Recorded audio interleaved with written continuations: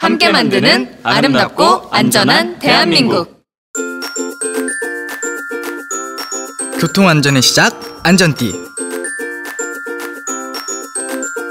처음과 끝이 안전한 운전 안전띠와 함께해요 아름답고 안전한 대한민국 만들기.